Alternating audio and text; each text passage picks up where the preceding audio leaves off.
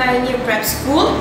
So we are now going to show you our algorithm which starts with uh, down, right, full, down, right, full, down, left, full, down, right, full. Thank you.